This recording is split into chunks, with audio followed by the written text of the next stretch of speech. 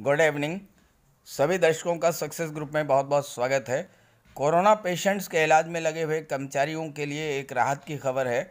Corona patients के इलाज में लगे हुए बहुत से doctors, medical staff, paramedical staff की डेथ हो जाती थी। अब ऐसे में एक अच्छी पहल करते हुए उत्तर प्रदेश सरकार ने एक आदेश जारी किया है कि कोरोना पेशेंट्स के इलाज में लगे हुए कर्मचारियों की डेथ होने पर उनके आश्रितों को 50 लाख रुपए अनुग्रह राशि के रूप में प्रदान किए जाएँगे। चलिए जान लेते हैं पूरी खबर विस्तार से। तो ये खबर है लखनऊ से।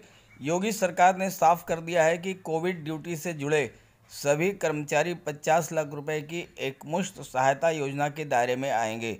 यानी क्वारंटीन सेंटर की स्थापना व रखरखाव, प्रवासी श्रमिकों के रजिस्ट्रेशन जैसे विभिन्न तरह के प्रत्यक्ष और परोक्ष कार्य से जुड़े सभी कर्मी इसके दायरे में आ गए हैं।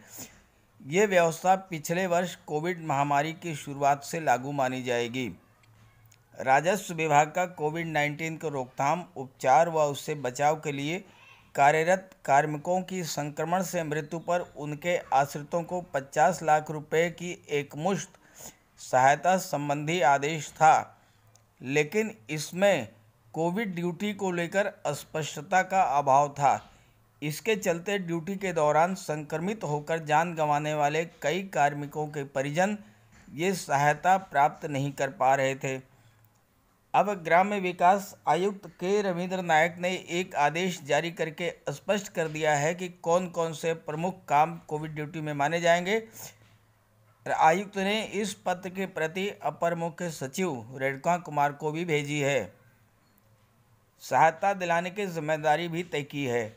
आयुक्त तो ग्राम विकास ने कहा है कि मुख्य विकास अधिकारी का उत्तरदायित्व तो होगा कि जिला विकास अधिकारी, परियोजना निदेशक, जिला ग्राम विकास अभिकरण, उप आयुक्त तो श्रम, स्वतः रोज़गार व मंडल मुख्यालय पर स्थित संयुक्त विकास आयुक्त से संबंधित कार्मिक के कोविड नाइन्टीन के रोकथाम, उपचार व उससे बचाव के कार्य में नियुक्त होने संबंधी प्रमाण पत्र प्राप्त करें। वह ज़िले के मुख्य चिकित्सा अधिकारी से समन्वय स्थापित कर संबंधित कार्मिक का कोविड नाइन्टीन संक्रमण से डेथ का सर्टिफिकेट भी प्राप्त कर सकेंगे। तो किसे लाभ मिलेगा? इस व्यवस्था का लाभ विभाग के उन सभी सरकारी अर्ध सरकारी संविदा कर्मियों, दैनिक वेतनभोगियों, आउटसोर्सिंग अस्थाई अस्थाई स्वायत्त शासी संस्था के कार्मिकों के आश्रितों को मिल सकेगा। जो कोविड 19 के रोकथाम, उपचार व बचाव के लिए कार्यरत हैं। क्वारंटीन सेंटर की स्थापना व रखरखाव, प्रवासी श्रमिकों के रहने, भोजन आदि की व्यवस्था, पंजीकरण और रोज़गार उपलब्ध कराने, ग्रामीण क्षेत्रों में सफ़ाई व्यवस्था, पर्यवेक्षण आदि के दौरान किसी विभागीय कार्मिक की मृत्यु हो गई हो अथवा मृत्यु हो जाती है तो भी 50 लाख की सहायता का प्रस्ताव जिलाधिकारी को भेजा जाएगा।